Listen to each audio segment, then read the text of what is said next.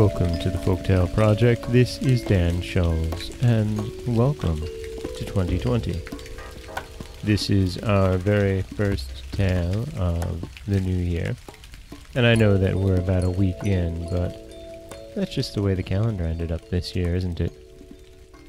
We're going to start things off in Armenia with a new story that we haven't told before from The Golden Maiden and Other Folk Tales and Fairy Stories Told in Armenia. This story is.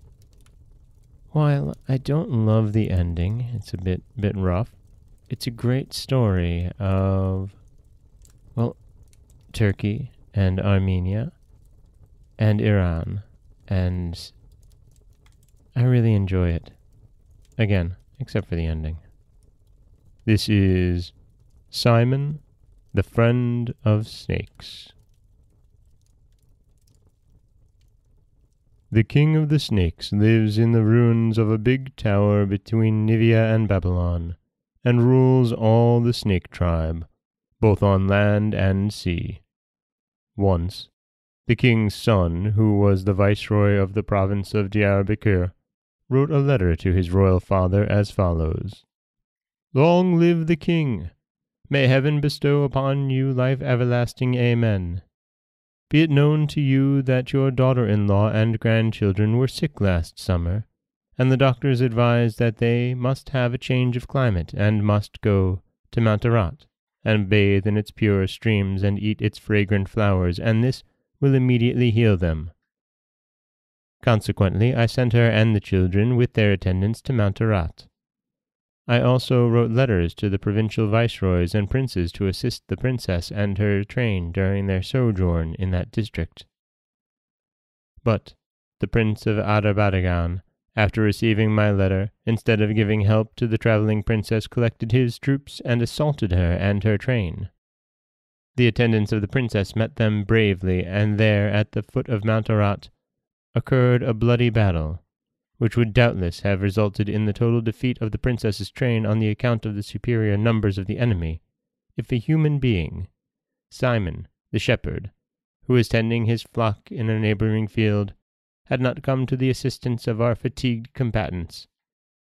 He took his great club, and entering the ranks of the warriors, beat and killed and pursued the assaulting brigands of the prince of Aderbadagan, and saved the life of your daughter-in-law who thus came safely through this perilous journey.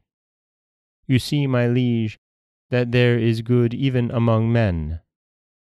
I will punish the vile prince of Aderbadagan for his wicked conduct, but it remains for you to reward the goodness of this noble human being as you deem best, and oblige your affectionate son. The king of the snakes, receiving this letter, took with him a vast quantity of gold and jewels, and went to his palace, in a ruined castle between Aleppo and Diyarbakir. He posted his attendants on the highways to keep watch and inform him of when shepherd Simon should pass. The shepherd was employed by dealers in livestock who did business with Damascus and Aleppo, and was now on his way to Aleppo. As soon as he approached the palace of the Snake King, the watchers informed their sovereign and in the twinkling of an eye the whole army of snakes stood near the highway and began to conjure. Simon the shepherd felt a strange dizziness. The heavens above and the earth below seemed to change. He stood there bewitched, while his companions drove away. Presently he opened his eyes, and lo! he was surrounded by innumerable snakes of all sizes and colors. Upon a golden throne was sitting a snake as thick as the body of an elephant, and upon his head there was a crown of costly jewels and diamonds. One of the snakes read a paper praising the goodness of the shepherd, his natural fondness for the snake tribe, and his gallant defense of the weak and the wronged. Now, noble human being, said the king, here is gold for you, precious jewels and diamonds, Take as much as you like. And in addition to these, if you have a desire in your heart, tell it to me, and I will cause it to be satisfied. Simon, after filling his shepherd's bag and his pockets with gold and jewels, said, I wish to understand the language of all animals, reptiles, and birds. Let it be so, said the king. But the day on which you shall tell anything of what you have seen or heard, you shall die. The spell was removed, the snakes vanished, and Simon the shepherd returned to his home near the foot of Mount Ararat. On the way he heard the animals talking, and lo! they knew all the secrets of men, and foretold events that would happen. Sometimes he laughed at what he heard, and sometimes he was terrified so that his hair stood erect upon his head. He entered his native village, and lo! all the dogs, cats, chickens, and even the long-legged storks were hallooing to one another and saying, Simon the shepherd has come! His bag and pockets are full of gold and jewels. Simon came to his house and put his treasure before his wife, who, being a very curious woman, instantly asked him where and how he obtained so much wealth. Enjoy it, but never ask, answered Simon. Simon heard his dog and chickens talking in regard to the secrets of his house. Sometimes he laughed, and sometimes he was angry. His wife, noticing Simon's strange conduct toward the animals, asked the reason. He refused to tell, but she begged and importuned him, weeping all the time. Finally, he could resist her entreaties no longer, and he promised to tell her everything on the following day. That evening, he heard the dog talking to the cock, which was leading the chickens to roost, chuckling and gurgling. Tell me, Master Rooster, said the dog. What is the use of your chuckling and gurgling since our master has promised his wife tomorrow to tell her everything? You will die. People will come and kill you, shoot me, and plunder and ruin everything which belongs to our master. Eh, the sooner it is ruined the better, answered the rooster contemptuously. I have a family of forty wives who are all obedient to me. If our master was as wise as he is rich, he would not pay attention to the vain inquisitiveness of his wife, he would not himself die, and no harm would befall us or his house. But now he deserves death. Hearing this, Simon was advised.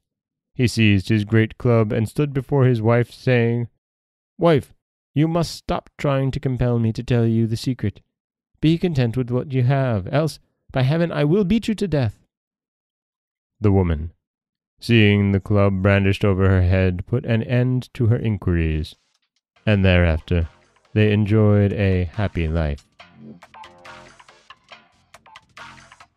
And that is the Armenian tale of Simon, the friend of snakes. These stories with the personified animals and learning the language of the animals, it's just, they're so compelling and I love them so much. I don't love the unnecessary threatening at the end. You don't need to brandish a club over your wife to ask her to please, just let's enjoy this. But, well, in this case, I guess we did.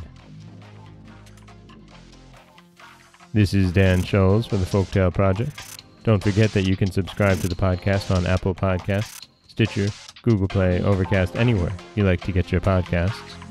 You can follow us on Twitter at Folktale Project you can find us on Auto Radio, TuneIn Radio, iHeartRadio, Spotify, anywhere you like to listen. And you can always head over to folktaleproject.com, where you'll find a new story waiting for you every Monday, Wednesday, and Friday. Don't forget that if you'd like to help support the podcast, you can always head over to folktaleproject.com slash support, where you'll find ways to help out. And speaking of helping out, I'd like to thank our newest supporter on Patreon, Elizabetta. Thank you. I do hope I'm pronouncing that right. As always, thank you all so much for listening.